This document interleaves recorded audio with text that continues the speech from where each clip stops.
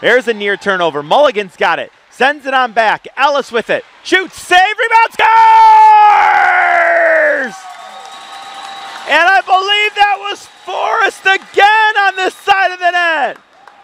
And DU has recaptured the lead.